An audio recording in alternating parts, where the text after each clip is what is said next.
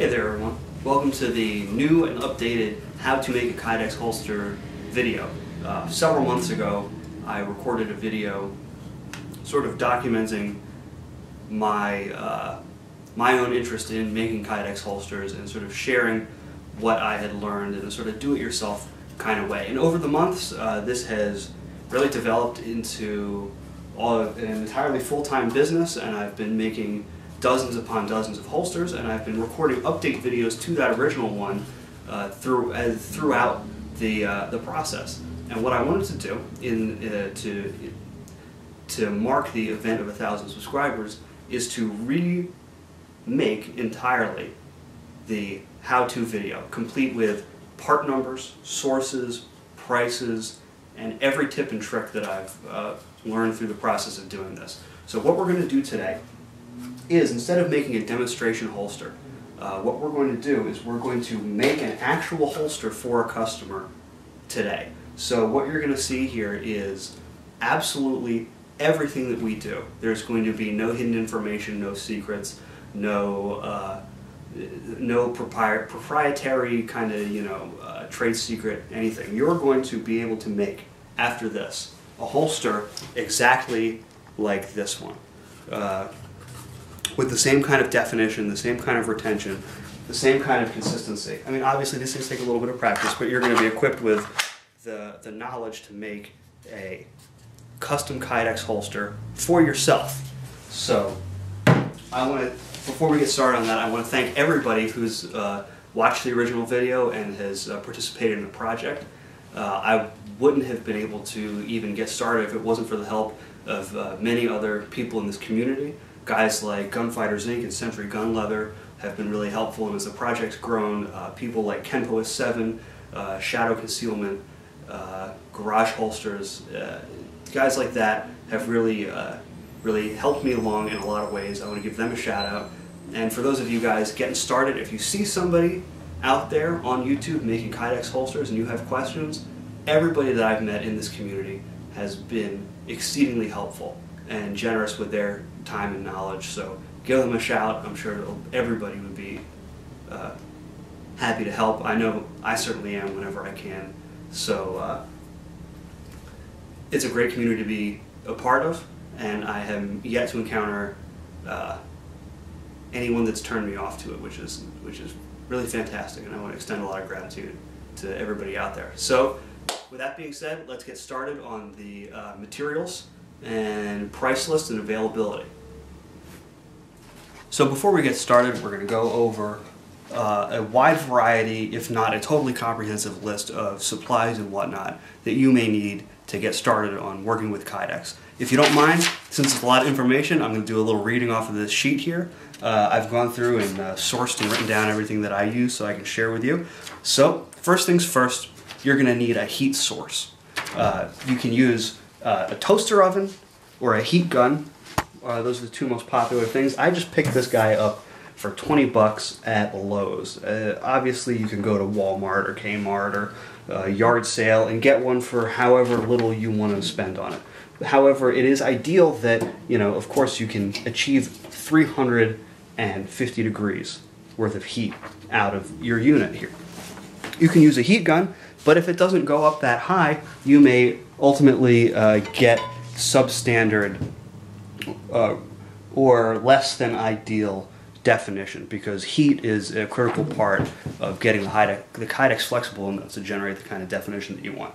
There are some really hot heat guns and if you want to spring for one of those that's great but if you just want to supplement your oven with a heat gun for doing some finer forming it's a, it's a good tool to have. Uh, other people use alternatives such as uh, like an electric griddle a friend of mine has an electric griddle in his rig, so he sort of uh, pulls it out of a drawer right here. He can flip the Kydex, you know, over to keep it warming evenly and uh, monitor the temperature that way. In addition to your heat source, you're going to need a press of some kind. This press was built for me by a friend, neighbor, and subscriber. It's what's called a book press. This is the sort of thing that you can build yourself. Uh, if you check out the Phlster, P-H-L-S-T-E-R, Facebook page, we have a diagram for a do-it-yourself book press. And if you email me, I'll send you the whole PDF file with parts and instructions on how to build one.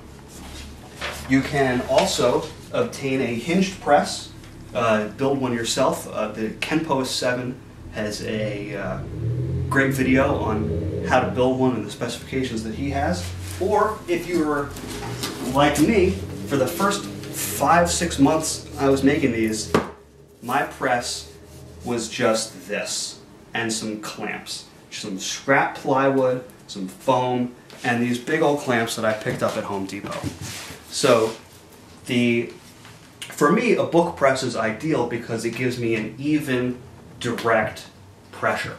A hinged press is going to give you a lot of potential for things to shift as the press closes, um, as I'm sure some of you have discovered. But uh, to each their own. You can improvise a crummy little press like I did and get decent results for a long time. You can build something if you're handy, or you can purchase a press from knifekits.com. They've got some really heavy duty ones. Or you can go on our Facebook page and get the instructions for how to make your own book style press. So now that you have heat and pressure, the next critical thing is, and I didn't discover this until much later, this is the keystone of your project. To achieve consistent, clean results with your Kydex, you will need, without a doubt, a way to measure the temperature. If you go to the uh, Kydex technical briefs and uh, read through all that information, you will find that the working temperature for Kydex, and they tell you all three thicknesses, but on average, the working temperature for Kydex is approximately 350 degrees. If you try to press it at around 300 degrees, 310 degrees, or even 320 degrees, the crisp, clear, perfect detail definition won't come through quite as much as if you heat it up to 350, 355 degrees and accurately measure that temperature and then place it in the press. So, for a long time I eyeballed it. However, uh, it's totally critical that you get yourself some sort of uh, non-contact thermometer for checking this temperature. This one I picked up at Lowe's, it was like 35 bucks. However, if you go to Harbor Freight, there is, you ready for the part number? Item number 93984. It's a Cen-Tech cheap non-contact thermometer. It's $23. Don't skip this step. If you want to get good results right off the bat, get yourself a non-contact thermometer. Uh, I'm going to put down here in this box the part number and the price from Harbor Freight. Obviously, all this information is subject to change. They might get rid of it, they might discontinue it. But for now, as of January 2012, you can get that item there. All right. The next thing that we're going to talk about, we're going to talk about the scroll saw. You'll come over here. I picked this up at Lowe's for about a hundred bucks. You can go to Harbor Freight and get the Central Machinery scroll saw for 930112, that's the part number, for 70 bucks. If you don't want to spend that much money, you can buy a $4 coping saw, which is essentially a scroll saw blade. It's a very fine blade and sort of like a hacksaw kind of armature. And if you have a way to secure the kydex while you cut it, you can get a very fine cut out of it. That coping saw item is 94848 and it's 4 bucks. So if you don't want to spend any money, that's a good way to go. The belt sander, again, this is a, uh, you know just a standard you know regular Lowe's kind of belt sander. I picked it up for again about a hundred bucks, uh, and uh, it's uh, really critical. It's great for matching the edges. If you don't want to spend the money on a belt sander, you can get a piece of sandpaper like a 60 or an 80 grit and tape it down to the bench and move the piece in relationship to the to the sandpaper instead of the sandpaper in relationship to the piece. Uh, that's a great way to do it on a budget. That's the way I did it for a little while. It just requires that you cut a little more closely off the bat. If you use a belt sander, you can, uh, you know, be very generous with your cuts and rough with your cuts and use it to do most of the matching. But if you're going to do something that's more by hand or without the belt sander, like, you know, tape your uh, sandpaper down to the bench, then you're going to obviously have to be more accurate in your initial cuts. This, uh, these range from $40 to $100 at Harbor Freight. So, I mean, 40 bucks isn't that much to save yourself a lot of time. All right, so let's move on over here to the rivet press. Uh, this rivet press, you can get, this is the one ton rivet press. You can get a half ton rivet press, obviously, at uh, Harbor Freight again. I mean, where else are you going to get cheap stuff? That's item number 3551. It's a central machinery press for 30 bucks.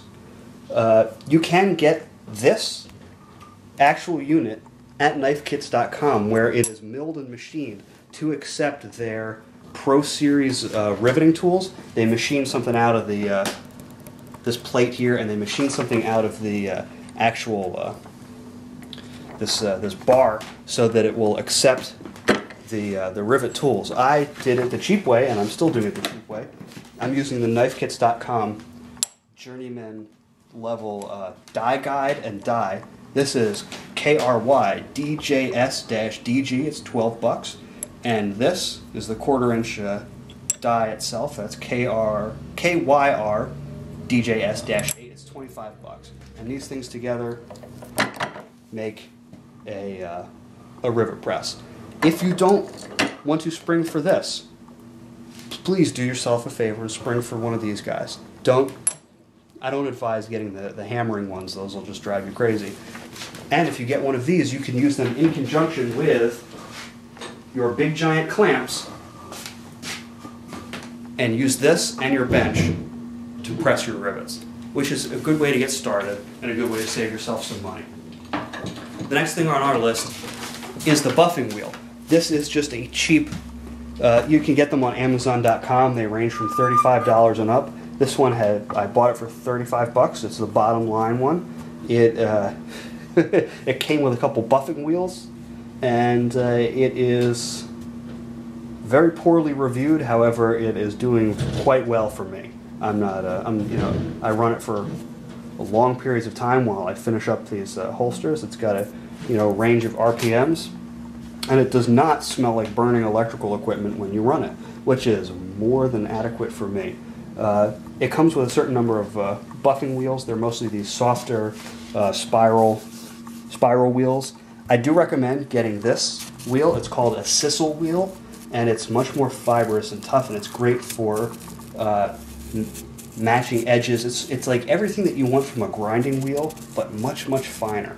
So it'll uh, it'll round an edge, it'll match an edge, it'll blend the kydex a little bit, and it's a, it's a good thing to have. Just don't get carried away with it. Um, so between this and this, you can do a lot of fine finishing.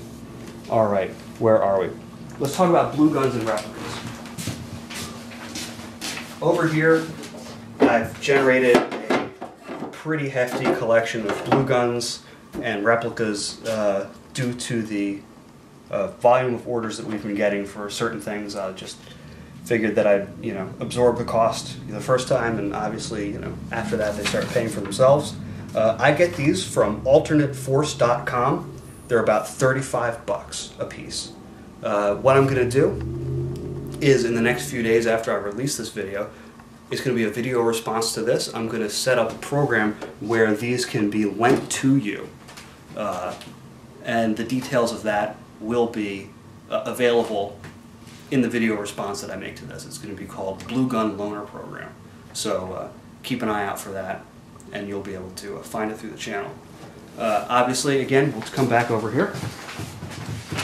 You're going to need a drill and drill bit of the appropriate size. I'm using quarter inch rivets, so I'm using a quarter inch drill bit. One thing that I don't have that I'd really like to get is a drill press that's going to go a long way towards helping me make uh, clean uh, and well-aligned holes for the rivets. And uh, that's all the hardware, non-consumable hardware that you're going to need uh, up to this point. What comes after that is consumable stuff, stuff that you'll use and will be consumed throughout the process. So for instance, uh, Kydex is something you're going to need, you know? Uh, it's something that you're going to use and it can't be reused. It's not a piece of equipment. You're going to build the holster with it and that's going to be that. Um, you can get it from knifekits.com. They have everything. They have a huge selection of uh, colors and thicknesses and until the end of February uh, of 2012 they're running a uh, coupon code. Uh, just enter Philly EDC, capital Gotta love the neighbors, right? Capital P, capital EDC, Philly EDC, and get uh, a few percent off of your purchase. So that's pretty awesome of them. So anyway, there's Kydex, every color you want. There's also the rivet eyelets. People ask which ones should I get. Obviously, they tell you on the website which thickness of rivet is appropriate for your application. However, I have found that the rivets labeled KYSR9-100 are the quarter inch rivets for 0.093 Kydex. Even though it says for 0.093 Kydex, I use them on all three thicknesses.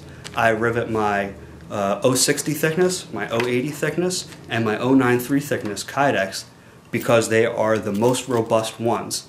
And I found that they are much less likely to split when I rivet them. And that's going to be something that you got to take into account. You're going to, you're inevitably going to split a few rivets. It happens. That's just the name of the game. Uh, you, there's steps that you can take to avoid it and to minimize the likelihood of that happen, happening, but uh, you know, plan on that happening. However, the 093 thickness Kydex rivets, the you know, SR9-100s are the best ones, I think. And they roll and secure even the sheets of 060 more than adequately. So I recommend those above all the other ones. What's next? Foam. Uh, there's all sorts of resources for foam. If you don't want to go the uh, sort of consumer route, you can get yourself a very dense neoprene style foam. This foam is from usa.knifemakers.com and a sheet like this costs $23 and it's extremely dense. Uh, you can get a sheet exactly like this from knifekits.com for $21.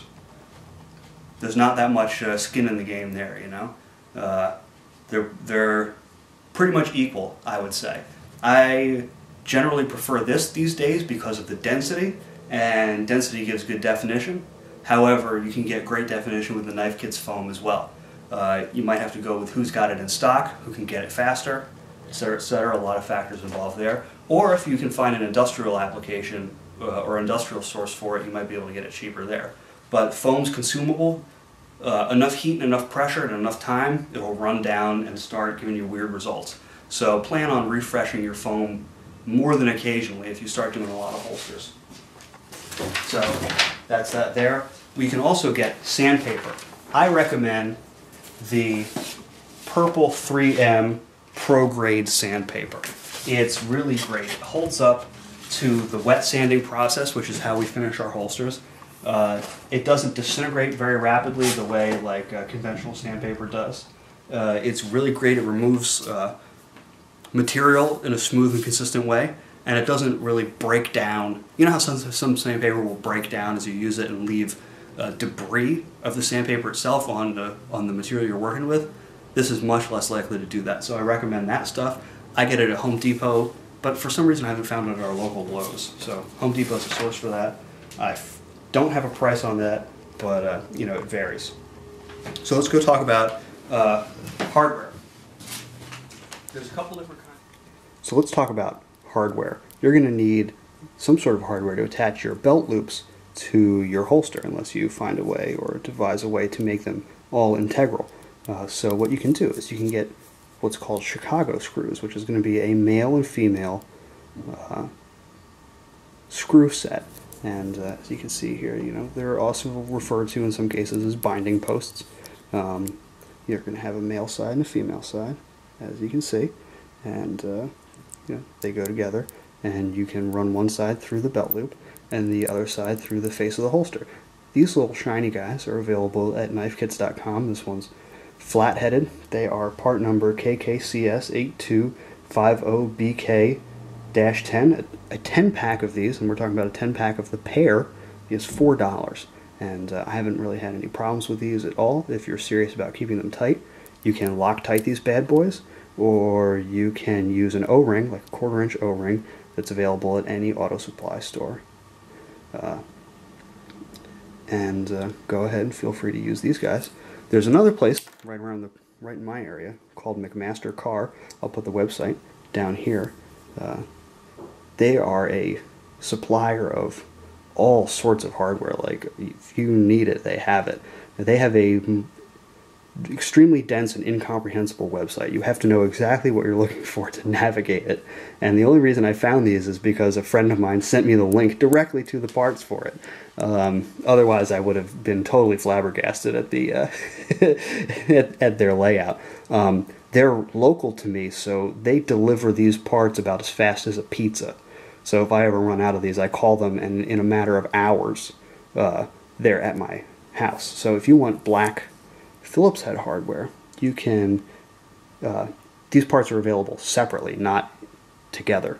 Uh, you can get part number 96640A123. Uh, it's these screws in a pack of 100 for $9.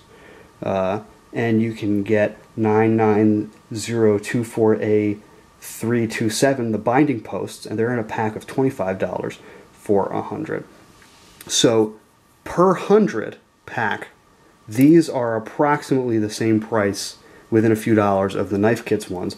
Uh, you basically just pay a little bit extra to have it black and badass. And uh, I've been going with these guys because I, I just like the look of them. Uh, I throw an O-ring in there and they're, and they're real solid. And uh, that concludes our uh, list of hardware. I mean, obviously, aside from, you know, knives and pliers and screwdrivers and stuff that you should already have as a, as a DIYer. That's all the stuff uh, with the part numbers and the prices. So now we're going to get on to uh, the next step, which is uh, selecting your Kydex. So our next uh, order of events here is to select uh, the Kydex we uh, want to use. Now, generally, you know, in terms of sites like knifekits.com, Kydex is available in three thicknesses. You've got 0.060 thickness, and we're measuring in fractions of an inch here which is pretty flexible, uh, but you know it's all going to be durable, pretty flexible. And this holster here is made out of that thickness. It yields a great definition, and uh, it's really easy to work with. Um, it is a little finicky in terms of uh, the heat. If you overheat it, it will change its form extremely quickly and uh, shrink up and do funny things. So uh, if you are committed to paying attention to it during the course of working with it, it gives you really great results. Uh, the advantage of the flexibility is that you spend a little less time dialing in the retention because it's inherently flexible. So it's not going to, uh, excuse me a second, I don't want to knock the tripod. But uh, you can get great definition without having to relieve too many areas to accommodate your retention needs. So you can just sort of get that guy in there like that and get, get really good uh, retention out of the flexible material. Now people say, oh, but it's so flexible. You know, look how flexible and, and flimsy it is. Well, look at it this way, right? You ever dent your car? You know, it's got that big sheet of metal, and that metal, when it's nice and flat, is really flexible. But as soon as you put a dent in it, that dent is really hard to get out because a fold creates structural strength. So it might be, you know, it may be flimsy in this form, but when it comes, but in terms of this fold here, it's actually extremely sturdy. So the more folds you put in it, you know, obviously, you know, the opening is a little flexible, but it's extremely lightweight, extremely low profile, and the more folds you put in it, the uh, the tougher it gets. The here we go. The next one is the .080 thickness. Um, until very recently, the uh, large variety of Kydex colors was, was only available in uh, 0.080 thickness. And uh, that meant that colorful holsters like olive or uh, brown or what had you were, uh, I was sort of forced to use that thickness for these colors. Now, obviously, you know, you can see here that you can get great definition out of it. You might have to push the heat a little higher. We're talking like almost 360 degrees, uh, and sort of get into the get dangerously close to the realm where you start to get shrinking and glossing. But you can really you can really get some good definition out of it. Now, it is not quite as it is not even nearly as flexible. It is very stiff, very firm. So there's 0.080 and there's the 0.060. Um, you do have to relieve some areas to loosen up the retention. Otherwise, it is uh, a very stiff holster indeed. Uh, now, as of recently, the uh, these colors are available in 060 thickness, so I'm going to be switching. And the final one is the 096. There are some people, like uh, Gunfighters Inc., for instance, who make all of their gear out of the, uh, or 093 rather. Um, they make all of their gear out of that because of the uh, durability issues, and uh, they want to be absolutely 100% sure that uh, the gear has incredible longevity and toughness. And what they use for that is this very robust uh, material. You can, like all the other ones, push the heat and get some good definition. However, it's so inflexible that you kind of have to relieve it a lot. I mean, in order to have a um, holster that uh, really worked for me, I had to warm it up and relieve out a lot of that definition uh, because of the stiffness of the material. Uh, today we're going to be making a holster out of the 060 thickness uh, Coyote Tan for this SIG P226. And when we get back, we're going to get started on that. We're going to get started on that. So this, I guess, is what you could call the drawing board. This is where you start to get an idea, uh, or implement rather, your idea of how you want your holster to look. And you cut your Kydex based on uh, your, your overall plan. Now I know that um, more or less all I need is a six and a half inch piece wide holster uh, or a piece to start with because that's going to uh, accommodate any kind of curving or uh, small warping that could occur during the pressing process and it gives me enough room that I can have a sufficiently wide holster in terms of weight distribution and uh, conforming curvature to the body without being really excessive. So uh, you know, measure it out, give yourself a little extra room. I'm going to do six and a half inches wide, and uh, let's say, eh, let's say about seven and a half inches uh, long here on the back. Obviously, this is when you start to think about, you know, the cant of the holster in relationship to uh, in relationship to uh, you know the belt line and all this stuff but uh, we're kind of dictated uh, by the order form here. So the customer makes the rules. So what I'm going to do is I'm going to measure this out, six and a half inches wide, and uh, then I'm going to cut the front and the back face here. So I'm going to do six and a half inches.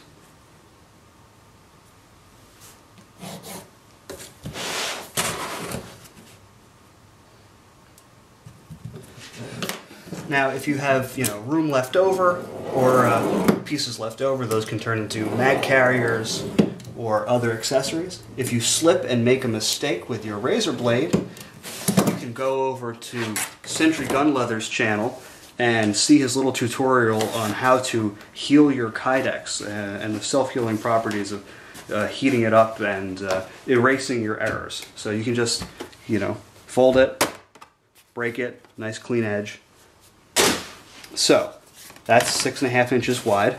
Let's say seven and a half inches tall to give us a little leeway. Uh, may, because if you uh, if you cut it too close to the muzzle, it'll bunch up and fold in a funny way. So maybe let's we'll do eight inches so we can make sure that we get a nice uh, nice clean shape. We don't want any bunching or folding. You know, just like underpants. So we'll make our mark. I use these uh, Stabilo marking pencils, uh, and uh, these things work great. You can get them at Blick Art Supply. They wash right off. You don't have to worry about the graphite smearing or, or any of that nonsense. So, do a little cut. There's that, and there's that piece. So now, there's our back piece. We know where the gun is going to go in here. Get it all lined up. And go ahead and trace on there. So you can have an idea of where it's going to go when you uh, when you're in a hurry to line it back up in the uh, in the press once it's hot. Now, here's something to consider. I don't want the Kydex to have to fight to wrap itself around the grip here. So what I'm going to do is I'm going to make a little mark like that, right about there, and then right about here.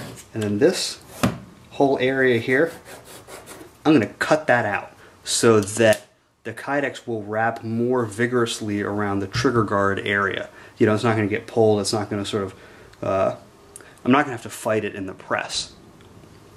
So, that might not be 100% strictly necessary, but it feels good in my head to know that, that that's happening. So I'm going to cut that off camera. Uh, you know, you'll see it when it's time to go into the press. So we're going to measure the front. I want the front of the holster, let's say, let's say it's, uh, let's do six inches. Why not? We're going to have a small amount of waste, but I'd rather uh, waste a little bit than, than fall short here. So we're going to trim this guy here, make your mark, line it up,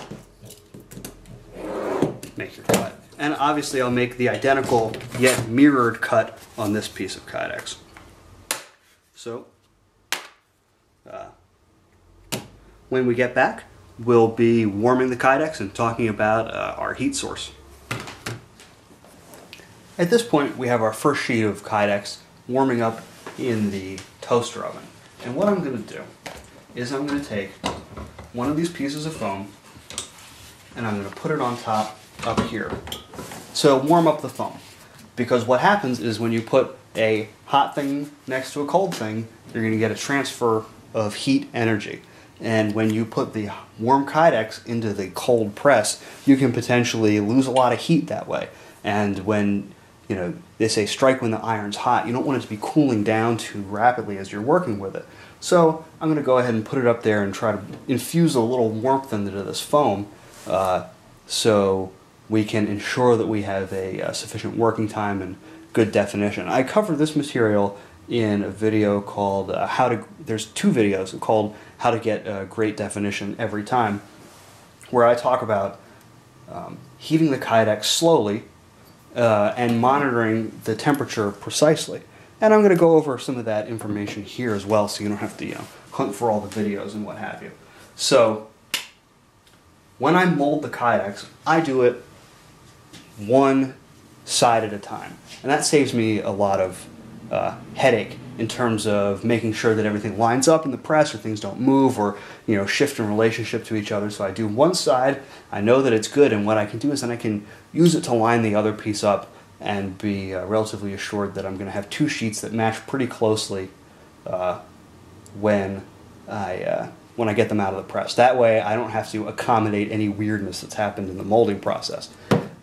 A good thing to note is that if you make a mistake in this process, and as long as the Kydex doesn't shrink, warp, or over gloss, like if you just mold it wrong or if it's crooked or in some way unsatisfactory, like not enough definition, you can just throw it right back in the oven and it'll relax all your impressions right out of it. Um, the self-healing properties of Kydex are really, uh, really great for, they give you a lot of leeway in terms of uh, making your molds. So uh, what I'm doing now is I have my oven set to the lowest temperature. And it's important before you even start making your first holster to do a little exploration uh, with your heat gun and your heat source. I mean your uh, temp gun and your heat source. And get a ballpark idea of what temperature the material is in relationship to the position of your temperature dial. Because what I've found uh, after using this little guy for a while is that when it says 150 here, it's really 250 inside this oven. Or the material itself heats up to 250. And what it does is it cycles on and cycles off and so like that. You can hear it. And uh, when it reaches a certain temperature, it will shut back off. But that doesn't mean the Kydex isn't really getting kind of hot in there. Um, you don't really need like Kevlar gloves. I just use Mechanix Wear gloves to uh, manipulate and handle this hot material. I mean, I was Uh, I was an auto mechanic for a while, so I'm not. I'm pretty used to beating the crap out of my hands. Uh, for those of you with dainty hands, you may want more protection, but then I might have to scorn you mercilessly about your dainty hands. Um, let's take a look in there. Yeah, you see, right now it's at 232 degrees, the material itself, and I've only got it set to 150. And also, you can get uneven heating across the surface of the material potentially if you've got a really small oven. So we've got 212, 215, 207, 203. What I do is I give it a little rotate. I don't generally flip it top face to face inside the oven. I'll just give it a 180 degree turn on the tray and then turn it up a little bit. If I were to preheat the oven and preheat the tray and turn it all the way up to 350 degrees and then put the Kydex in there, that Kydex would shrinky dink and get really shiny because it can't handle that kind of sudden temperature change. Um, if you have a larger oven, obviously you can, uh, since there's more air and less direct heat inside that larger oven, you can get away with uh, maybe setting your temperature and, you know, uh, putting the Kydex in and letting it come up to temperature uh, with the oven, or since the heat's not as direct, maybe setting it to a higher temperature initially, it won't shock the material. But in this little sort of uh, dorm, I guess I I guess I guess I call this a dorm-sized toaster oven. I uh, I'm subjecting this material to a lot of direct heat, so initially I'll turn it up slowly. But as I get, you know, above 200 degrees, once this guy starts showing over 280 degrees, I can turn it up faster and faster. I'm less likely to shock it. So uh, what I'm going to do is I'm going to take another temperature check. Yep, 250. So I'm going to let that hang out there like that. And uh, we'll, when I get back, what I'm going to do is I'll be at the stage where it's finally coming out of the oven. I don't think you need to watch me turn up the oven and check the temperature and turn up the oven and check the temperature. Just take your time and uh, monitor your temperature. And once you get to about 350, maybe even a little more if you're feeling daring and you've got a little experience with it. You know, once you get to that point where you kind of have an idea of how the material is going to react, then you uh, put it in your press and move on to the next step. So where we're at now, if you'll uh, pardon me shouting, as we're getting into the last couple moments of heating this guy up in the oven. It is currently 333 degrees in the oven, and what I'm doing is I'm warming this top piece of foam on top of the uh, on top of the oven, and just like um, for the same reason that I gave for warming up the foam, I'm warming up the gun as well because it too can be a, uh, a place for the heat to go, for, for the heat to leave the Kydex. So to get really good definition, like I said in that uh, pair of videos, it's uh, important to heat everything that's going to come in contact with the Kydex. So I'm warming this up and I'm warming up the foam. A uh, word of advice, it's been reported to me by a couple DIYers who have uh, put a polymer frame gun in the press uh, they encountered some problems with the grip uh, warping or squishing just a little bit. I would recommend put a magazine in the gun before you put it in the press. And if you have to put the whole gun in the press, you know, try and like maybe leave some of the grip out of the direct pressure area. Um, if not, put a magazine, fill it up with snap caps, give it some structure, and put the magazine in the grip. Otherwise, you could be uh, flexing that grip a little bit too much on your polymer frame handgun. Uh, but aside from that, I, I haven't damaged any magazines or accessories or guns in the press as of yet, so, you know, knock on wood. But just a word of advice to those of you who are planning on, you know, making a Glock holster or an M&P holster or any, any such uh, any such gun there. So let's take another quick peek at this temperature. There we go, 353. I'm going to now work extremely quickly and you know like I said strike while the iron's hot and get that out of the oven into the press and ready to rock and roll.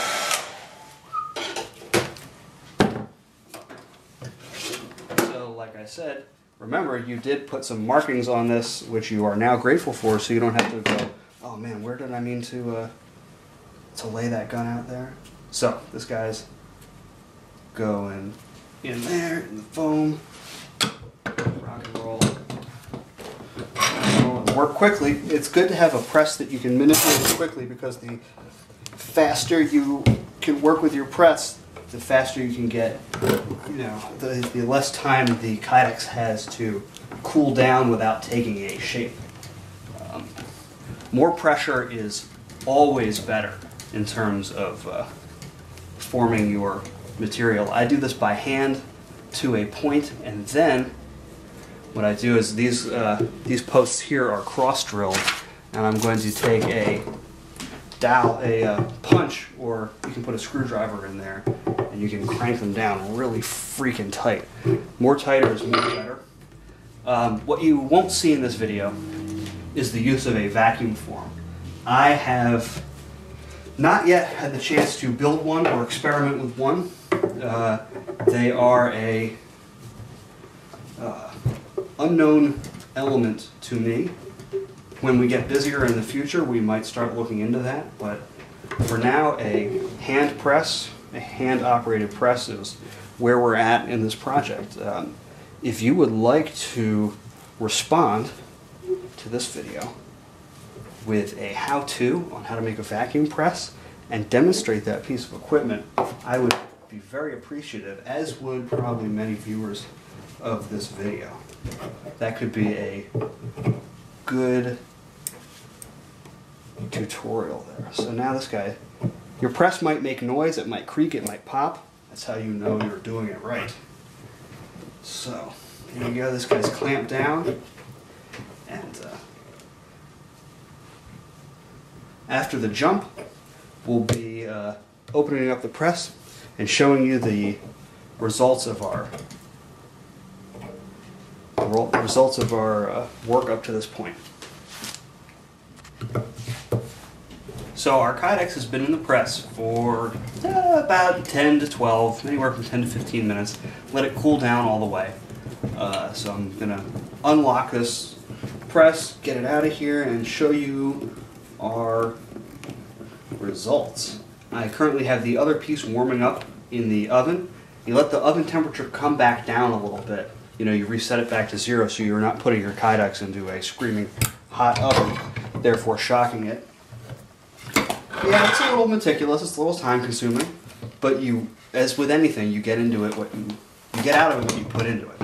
So if you're putting in care and considerate effort, you're going to get out good results. So here we go. There's our impression. Can you ask for a crisper, cleaner mold than that for your Kydex holster? I think not. That's about it's about as precise as you're to get. I think.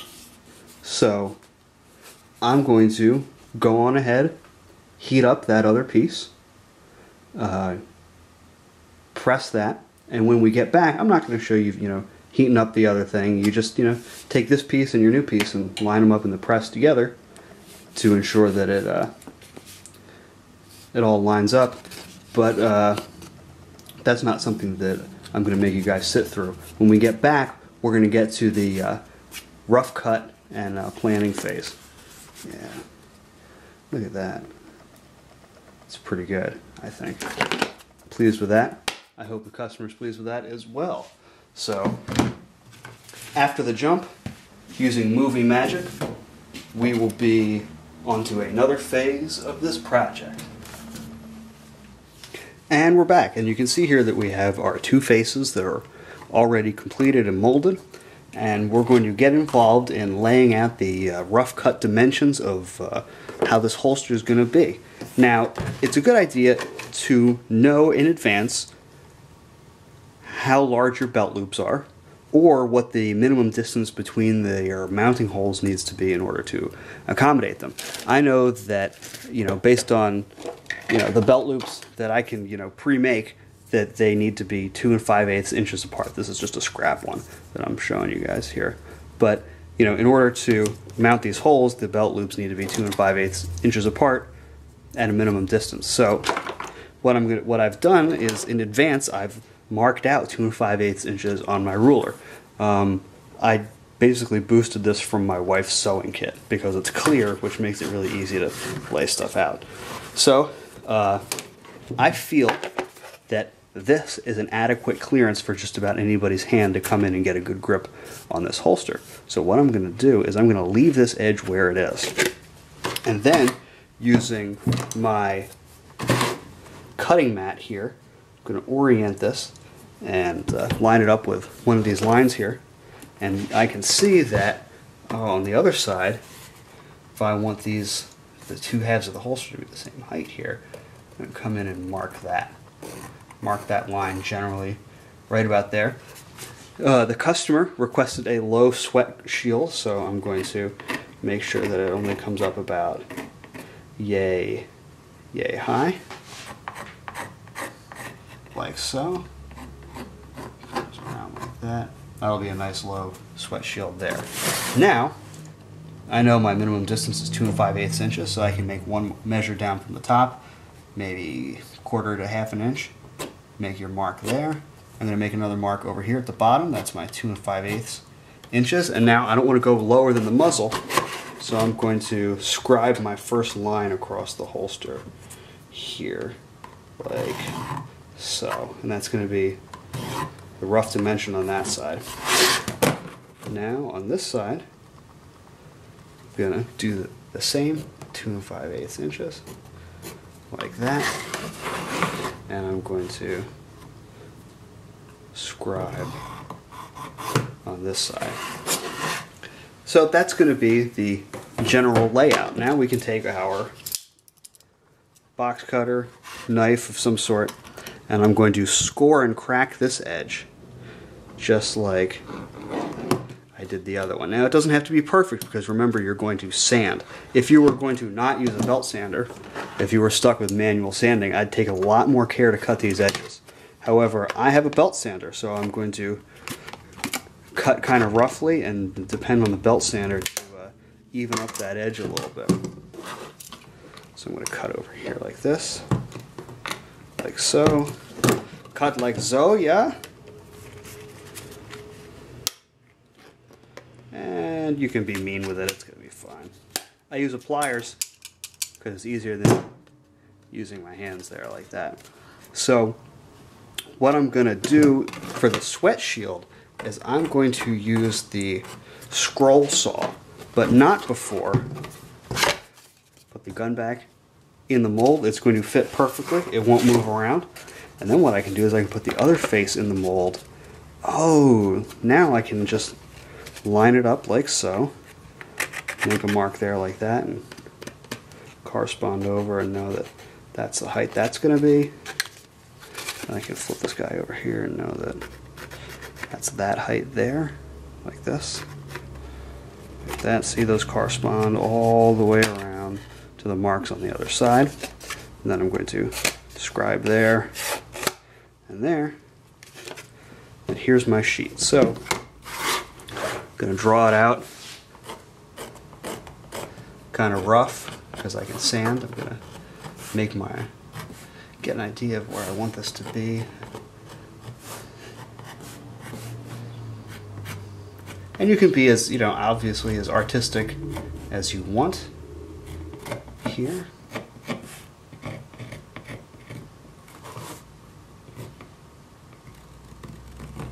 What I can do is I can use the grid on this this cutting mat to make sure that everything lines up and is square in a usual and predictable and you know, perfect kind of way.